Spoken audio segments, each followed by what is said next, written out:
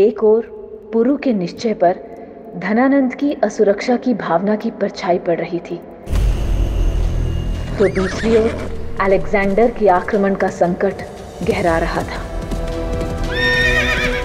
अहंकार और क्रोध की अग्नि में जल रहा अलेक्जेंडर उस मार्ग को ढूंढ रहा था, जहाँ से सेना समेत मुझे पार कर सके, और उसके इस प्रयास में सिल्यूकस भी उसके साथ ही था।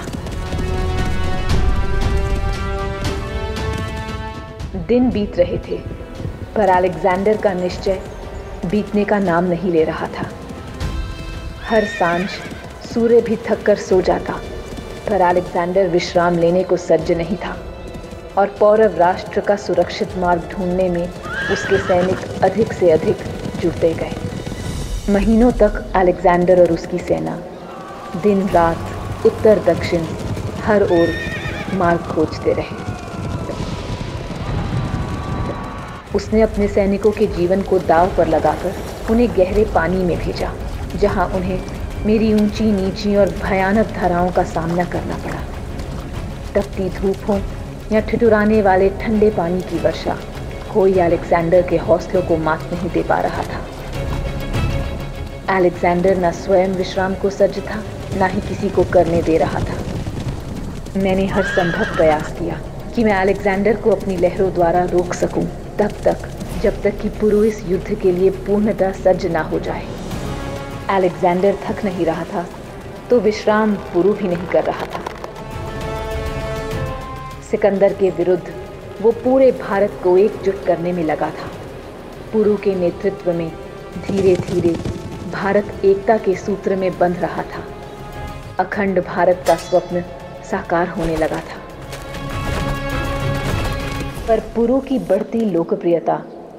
धनानंद की आँखों में अब शूल की भांति चुभने लगी थी।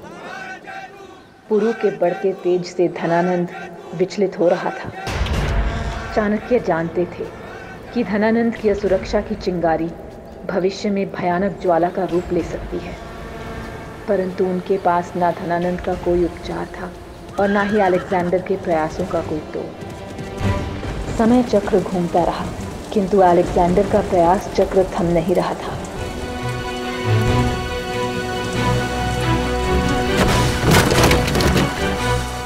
कहते हैं ना, यदि आप किसी वस्तु को दृढ़ता से तलाश करो तो वो भी आपको खोजना प्रारंभ कर देती है। आखिर मुकद्दर ने सिकंदर से हार मानी।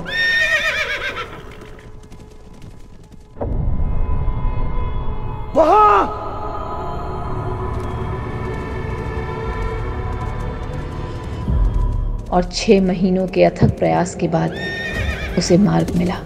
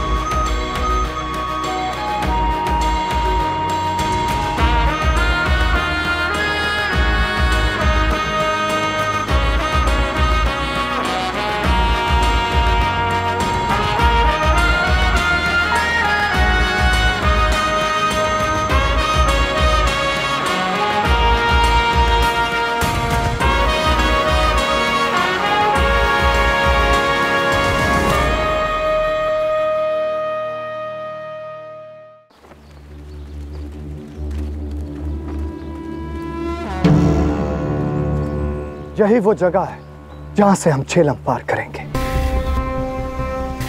इसी टापू पर हम अपनी छावनी बनाएँगे जहाँ से हम आसानी से छेलम पार कर जाएँगे। ये जगह हमारी छावनी से काफ़ी दूर है शाह। यहाँ छावनी बनाने से पहले हमें इसका मुआयना करना पड़ेगा। जैसे दरिया की गहराई और लहरों की तेज़ी मापनी पड़ेगी। वो तो घोर बुलाओ। नहीं सेल्यूकस। इस जगह का मुआयना मैं खुद करूँगा। लेकिन शाह, इसमें खतरा है। आप क्यों जाएँगे? हमारी फौज के गोताखोरे काम कर देंगे।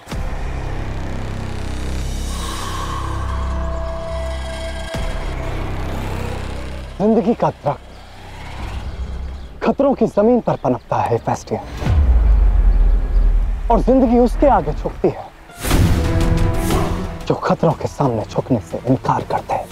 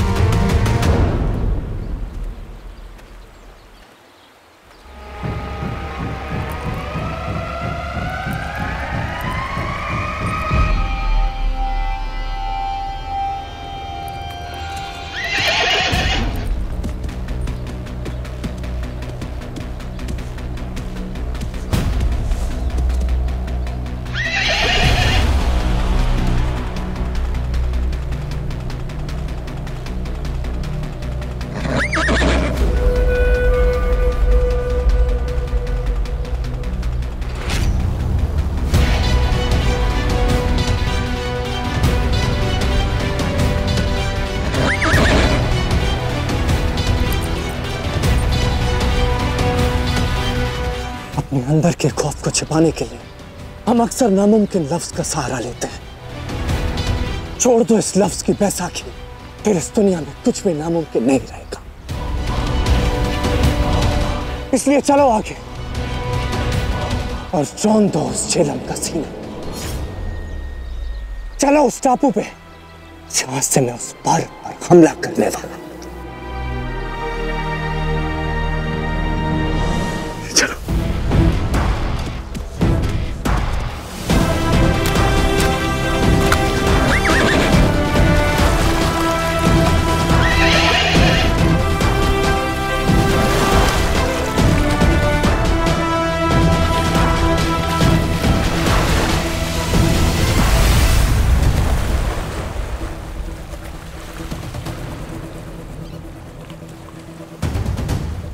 ये शांति। ये तूफ़ान के आने से पहले का मौन है, आचार्य।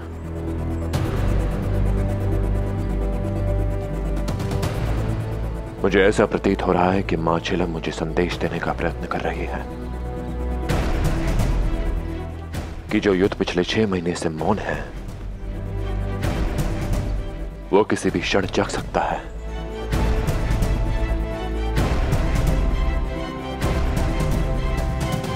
हमें अपनी सेनाओं को सच रखना होगा। पुरु, इन सब अलग अलग राज्यों की सेनाओं को एक साथ, एक ही युद्ध के लिए एकत्रित करना अत्यंत सराहनीय प्रयास है। परंतु, मेरे विचार से, मगध की सेना को इन सब सेनाओं से अलग रखना ही उचित होगा।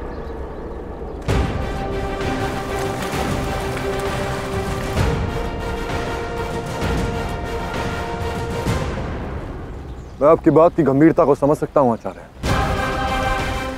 किंतु हमारे पास और कोई विकल्प नहीं।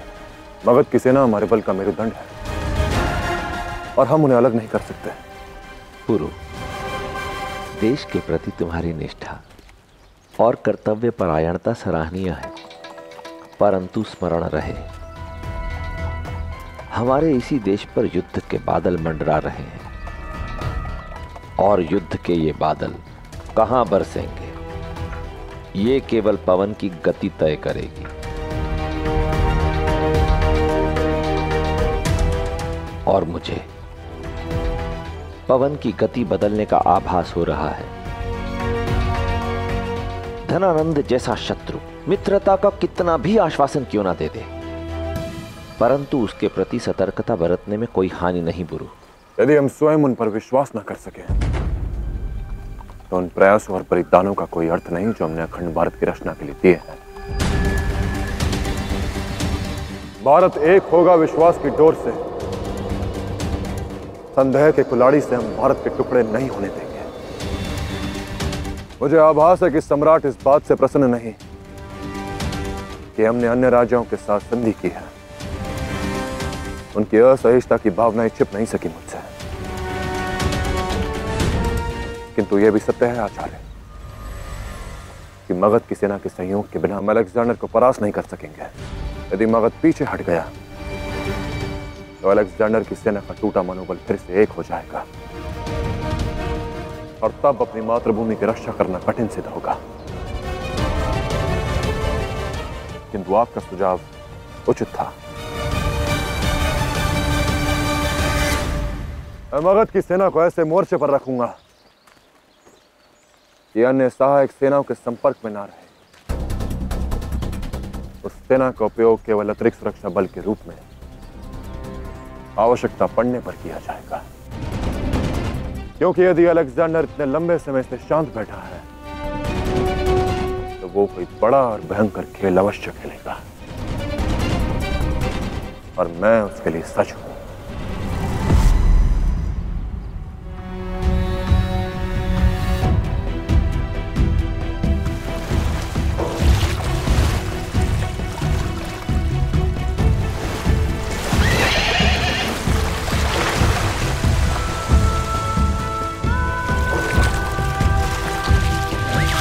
शाबाश।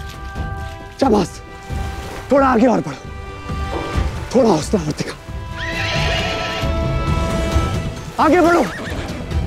मंजिल के इतना करीब आकर हम हिम्मत नहीं हार सकते। तुम ये कर सकते हो। आगे बढ़ो। क्या? क्या रुकिए आगे? पानी का बहाव बहुत तेज है। मैं मदद भिजवाता हूँ। कोई आगे नहीं बढ़ेगा। ये जंग मेरे और छेलम के बीच है।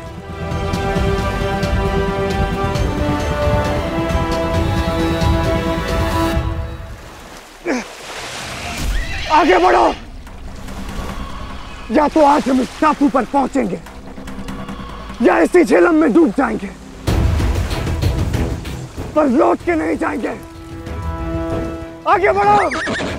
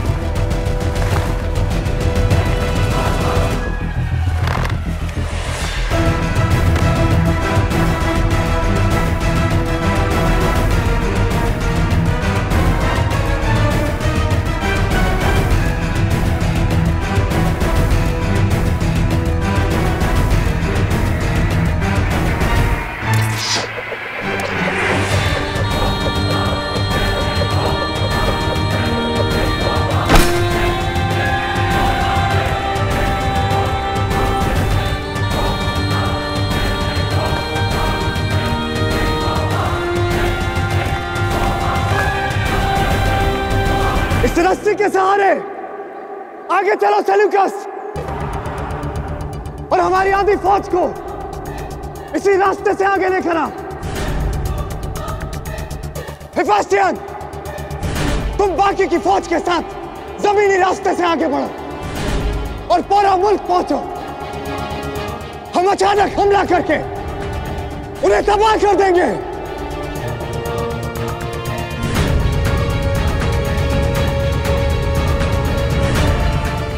जेल का आखिरी मंजर अब शुरू हुआ पोरस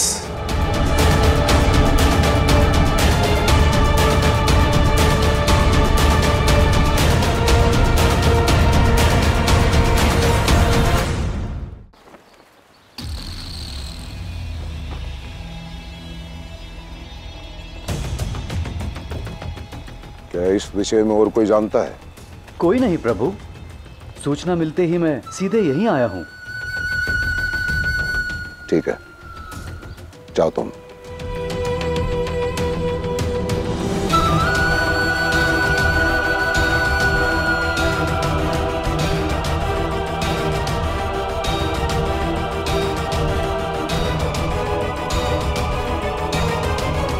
उचित समय पर आए हो महामाते मैं सोच रहा था अब इस खेल में मनोरंजन शेष नहीं रहा। छह माह बीत गए और हर दिन जीवन बेरंग और नीरस हो रहा है और जहाँ आनंद ना हो, वहाँ धनानंद का क्या लाभ? ये छोटे छोटे क्षत्रिय जो खेल खेलना चाहते हैं, खेलें। मैं मगध लौटूँगा। अलेक्जेंडर तो आ नहीं रहा। वो आ रहा है।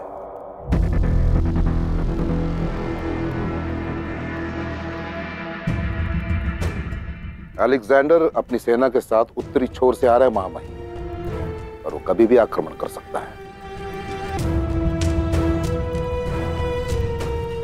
और ज्ञान पौरव राष्ट्र में किसी को नहीं।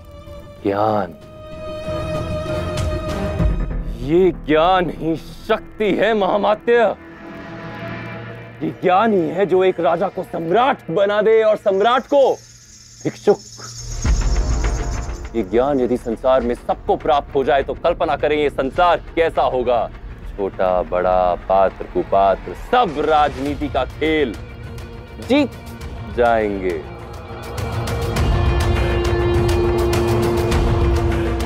अब तक गुरु इस खेल को जीत रहा था, पर अब ये ज्ञान के पासे खेल के बिसात को ही बदल देगा।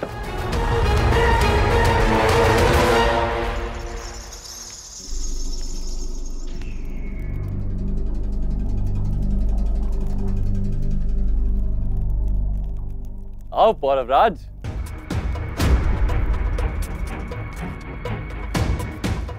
तुम्हारी ही प्रतीक्षा थी। अब तुमसे ही ये खेल मनोरंजक होगा। क्षमा चाहता हूँ सम्राट, किंतु चौसर का खेल मुझे खेलना नहीं आता।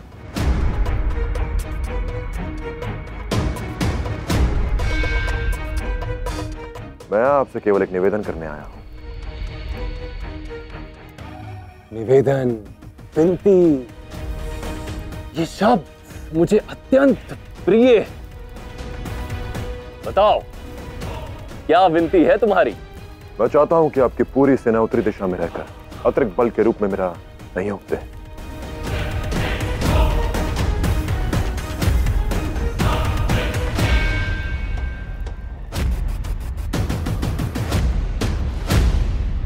विनती पूर्ण करने में एक विचित्र आनंद आता है पुत्र तुम्हारी इच्छा अवश्य पूर्ण होगी। मगध की सेना उत्तर से आएगी। क्यों समझ लो, मैं और मेरी सेना उत्तर दिशा की ओर कूच कर रहे अभी नहीं सम्राट। आप हमारे सहायक और सहायकों की सुरक्षा करने का दायित्व मेरा है। पहले मैं स्वयं वहाँ जाऊँगा और यह सुनिश्चित करूँगा कि वो स्थान आपके और आपकी सेना के लिए सुरक्षित और उपयुक्त है। या नहीं। उत्तम वास्तव में तुम्हारे विचार महान है पुरु जाओ, सुनिश्चित करो। तब तक मैं अपनी सेना को सज्ज करता हूँ। और उचित अवसर आने पर मैं अपना अगला कदम बढ़ाऊँगा।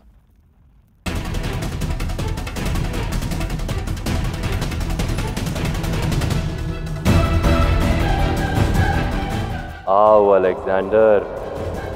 मैं तुम्हारी और पुरु की भेंट की प्रतीक्षा बहुत उत्सुकता के साथ कर रहा हूँ।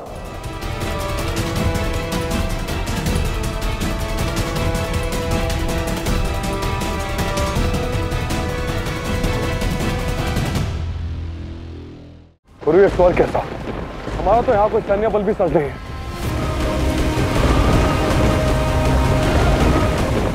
तो सामने ही गए पोरस। आज के दिन इस खेल का खात्मा शुरू होगा।